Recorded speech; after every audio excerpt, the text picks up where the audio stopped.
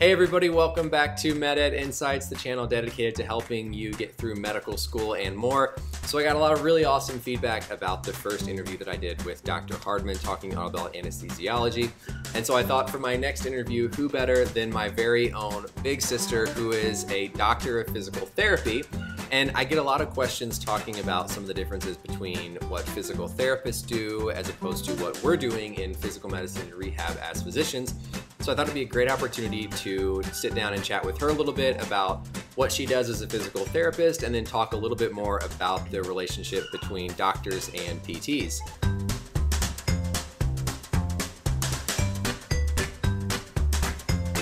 Thanks a lot, Kim, for taking some time this weekend to sit and do this with me. So First, take a chance just to introduce yourself to everybody, talk about your education, your background, and what you're currently doing for your job right now. Hi, everybody. I um, I went to the University of Evansville in Southern Indiana, and I got my undergraduate degree in athletic training. So I'm also a certified athletic trainer, and then I stayed there for PT school also. And um, like Brian said, I'm a doctor of physical therapy and I currently now work in the outpatient setting, just a small privately owned clinic here in Terre Haute. So I want to walk through a lot of the questions that you all have asked me are things like, well, what's the difference between a physical therapist and a physiatrist or a doctor mm-hmm. of physical medicine and rehab? And you know, beyond the obvious, one of the specialties is a medical physician as opposed to you as the physical therapist.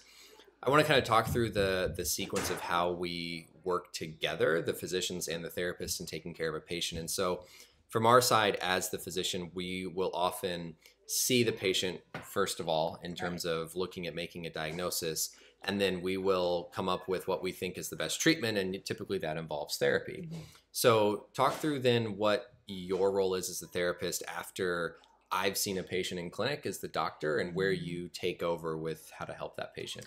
So if I get an order from a physician that's very specific on I want these treatment techniques to be done or mm-hmm. sometimes not done. Some physicians sure. are specific with I don't want this treatment done for whatever reason. Okay. Um, so if there are specifics, then obviously we integrate that into our treatment plan. Mm-hmm. If there's not specifics, then again, depending on that first day evaluation, I'm going to put together a treatment plan that I think is okay. That's going to come back to you, the physician, then okay. to sign off on the plan of care. Sure.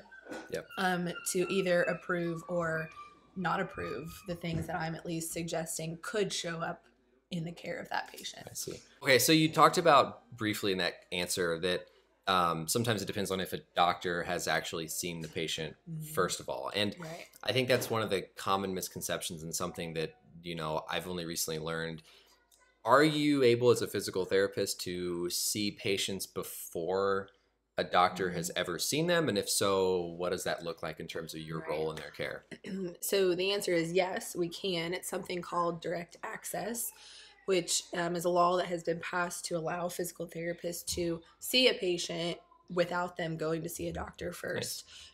It's it's nice for the people that have had good results with physical therapy before and say maybe they think they've got something else going on that a physical therapist could address. So they can mm. at least skip one step in the process to start with physical therapy the law is that we have 24 days to work with that person okay. calendar days day 1 to 24 whatever we get in that amount of time with visits is what we have to work with them if we think they would benefit from continuing therapy afterwards then i would either say hey let's go back to your doctor check in mm-hmm. see if they're okay with you continuing therapy sure. let's get then an order from the doctor to to continue okay in that context, I'm I'm sure there's a difference between what you all as therapists can diagnose mm-hmm. patients with versus what we might diagnose them with as physicians. So, right.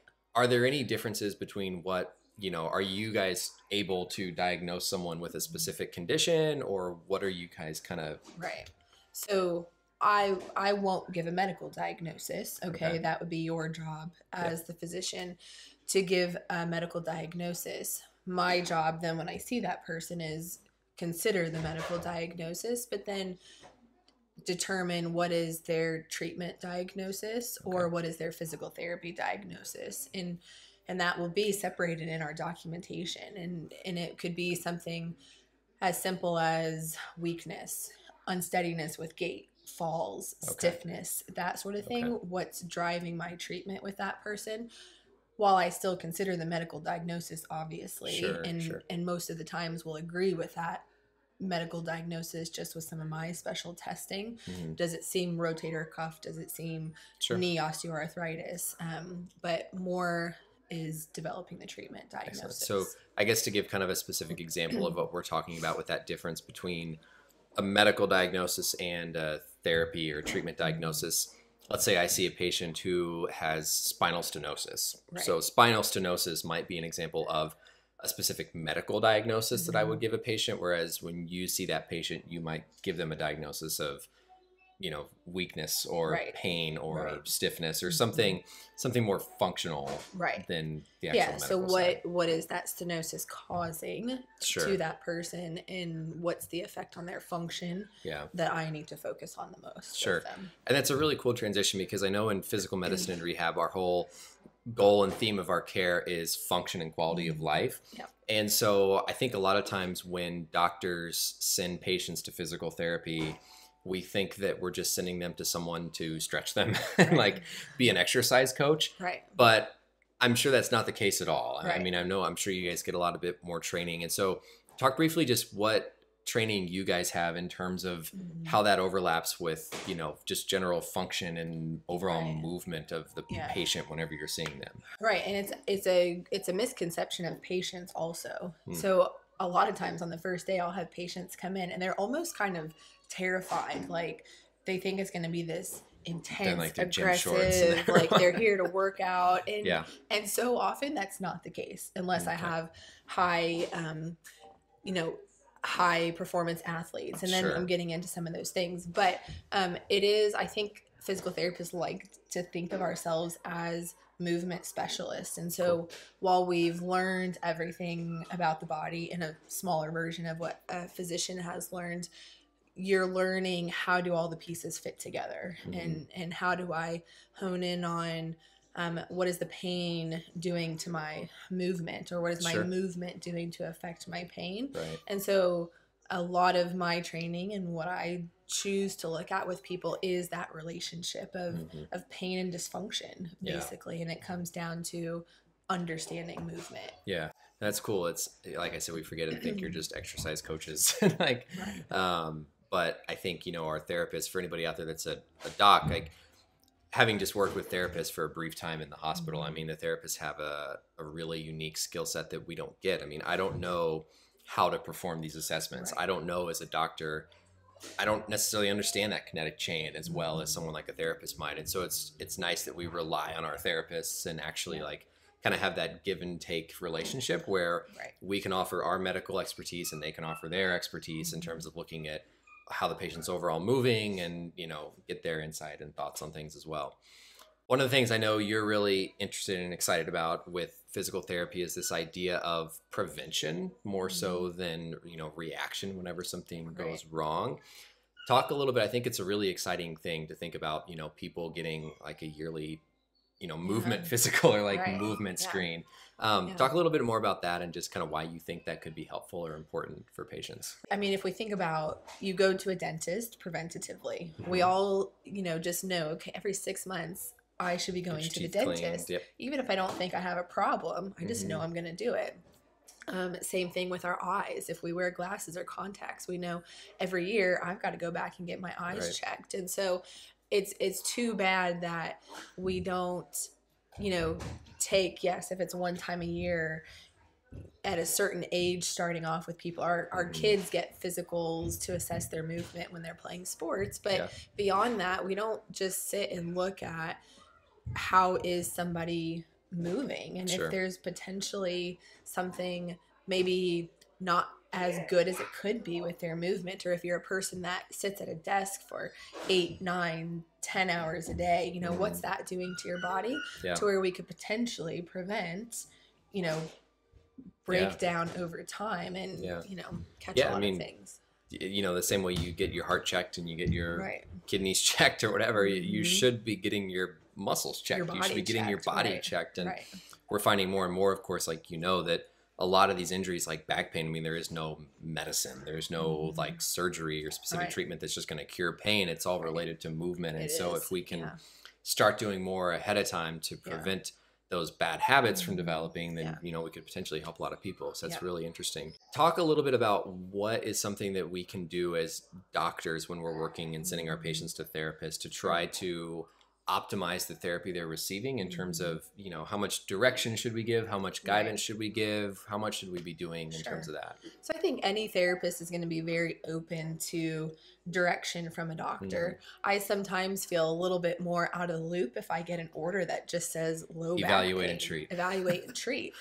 well, okay. I don't know what that patient has been through already Sure. with the doctor. I don't know what the doctor has told that patient. Am Mhm. I now telling them something completely different because I don't know all that they've gone through with the doctor? So I think most therapists are going to be very open to suggestion from a doctor. We're most strict sometimes when we have a protocol, a post-op protocol, which that's Sure. really important too for obvious reasons. But you know, I think any information that allows us to feel sort of in the loop with how that first visit with you went Mhm. and maybe what your suggestions for us are is great. But then at the same time, you know, trusting in the therapist's Mhm. diagnosis of movement and and what that treatment plan needs to be also is a nice a nice give and take. Yeah. Okay. I want to switch gears a little bit and talk. I know most of the people who watch these videos on the channel are med students or thinking about medical school, Right. but obviously there's a ton of stuff you can do within the medical field. Mhm. I want to get into a little bit about kind of decisions on becoming a therapist versus being a physician. So, first of all, just how much training is required to become a physical therapist in terms of education, you know, clerkships, clinicals, stuff like that. Yeah. So you have to have an undergraduate degree. Okay. Okay. So you're going to do four years of undergrad. People do any variety of exercise science, athletic training, biology. I mean, you can you can really have any sort Mhm. of undergraduate degree, and then PT school. Now that it's a doctorate degree, is three years, three very Okay. full years. Um, clinical work most programs are going to have anywhere from three to four clinicals um, not the length of time that some doctors are going to spend doing things but you might do a clinical anywhere from six to ten weeks long and you're going to Okay. cover similar to what you did you're going to Mhm. cover acute care even if you don't want to do kind of care. You're going to cover of different areas sure. of it neuro and then outpatient as well Mhm. um, and then you'll sit for your boards afterwards Okay. once you graduate from school and then once you pass those boards you're free to start working in whatever Nice. setting you Okay. want to work in if you want to do specific like working on a rehab unit where you're taking Mhm. care of patients with spinal cord injuries right do you have to do specific like fellowships or additional training so that you Mm-hmm. Right. can work in those settings right so additional training wouldn't be required Okay. to start in that setting especially for a new grad if they knew that's what they wanted Mhm. they could start working now the therapists that spend their careers in those settings they're most likely doing continuing education to be focused on neuro rehab Sure. or techniques that fit that or fall risks or elderly patients you know they're gonna Okay. they're gonna probably do continuing ed specific to that yeah you can do certifications you know you can get a manual therapy certification you Mm-hmm. Okay. can um, get specialized training and, Yeah. and most of those things might take up to a year of time if you want to get some sort of orthopedic clinical specialist you Okay. know credentials Sure. behind your name but nothing's you know required like where you have to hang something on your wall to, before you can be in a setting right so talk then anything else just in general if someone's trying to decide you know gosh like i really you know i went to physical therapy and i enjoyed learning Mhm. about what the therapist was doing but i've you know heard about being a doctor as well like sure any just general tips or things people can think about if they're you know Mhm. leaning more towards physical therapy that might clue them in to say hey maybe this is a good fit versus you know Mhm. physician side Yeah, so physical therapy is going to be a little bit more specific than, you know, we overlap similar Mm-hmm. in some of our thoughts throughout the day. As a physical therapist, probably the the biggest difference is the continuity that I stay with a person. Sure. And so, you know, if you really obviously what you do is very impactful on patients' lives if you want to be constantly hands on with that Yeah. person, that might be one of the biggest differences because I'll see somebody probably at least one time a week for a Mhm. period of time. I might Okay. see them two times. If they're post op, I'm going to see that person three times a week. And so Yeah. I'm really affecting, you know, Yeah. that person multiple times a week. No, that's true. I, and yeah, I mean, so we'll see someone once and then Right. we see them six weeks later after they finish Mhm. therapy or something. And I've seen too, you know, in the on the rehab units at the hospital for people in rehab, a lot of times that patient who is a new paraplegic Mhm. has the same physical therapist Oh, during yeah. their entire 3 4 Mhm. week rehab stay. Yeah. And it's Yeah. it's cool because they you can tell like they form a really unique Mhm. relationship Oh, because yeah. this person who previously was totally independent now has to rely on Mhm. someone else to help train them how to you know do the simplest of things Right. like get out of a chair or Right. transfer to a toilet and Mhm. so the therapists are doing way way more of that hands-on stuff than we are Sure. as the doctors and so from my side of it i think if you if you really want to be more like hands-on with the patient like you want to be with them throughout Mhm. the day and you want to be with them throughout the week or multiple times a month that maybe think more towards physical therapy because you're going to be able to do that. I mean, I with my patients, I'm not the one helping them learn transfers. I'm not the one helping Yeah. them with their shoulder pain. I'm Mhm. seeing them and coming up with a plan and then sending them on their way. So Right. um, definitely something to think about if you kind of like that aspect of, of patient care more than the other. Well, thank you so much, Kim. I appreciate you doing this. No. Um, this was really awesome. I hope it kind of helps answer some questions or just some thoughts people have had about, you know, what we do as physiatrists versus what physical therapy is all about. If you have any questions, as always, comment below. I have a pretty quick uh, line to get a hold of her if I have to ask any other questions. If people have specific ones about physical therapy, getting into PT school, should I apply, should I not apply, anything at all like that, let me know in the comments below. As always, subscribe. Feel free to share these videos with anybody else if you enjoyed them, and we'll talk to you all next time. Take care, everybody.